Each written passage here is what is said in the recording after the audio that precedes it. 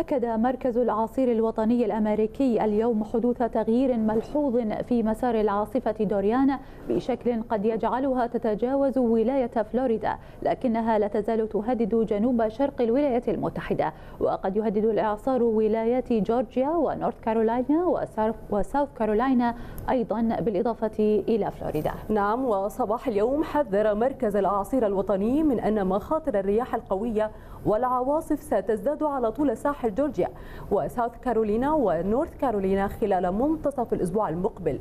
كما وحذر مركز العصير من فيضانات مهددة للحياة جراء هطول الأمطار الغزيرة. حالة تأهب دعت إليها سلطات فلوريدا لسكان الولاية على الرغم من أن أحدث التوقعات تشير إلى أنهم قد يتفادون التعرض لاجتياح مباشر من الإعصار الخطير الذي بلغت قوته الدرجة الرابعة.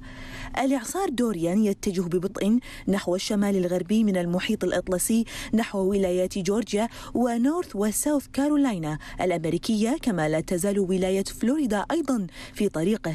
المركز الوطني للأعاصير في ميامي قال إن هناك تغيرا ملحوظا في الإعصار مع إظهار أحدث التنبؤات أن بؤرة العاصفة قد تتجه شمالا وتبقى بعيدا في البحر لكن المركز حذر من أن مسار الإعصار يظل عصيا على التوقع وقد يشكل خطرا داهما على جزر البهاما وعلى الملايين الذين يعيشون على الساحل الجنوبي الشرقي للولايات المتحدة.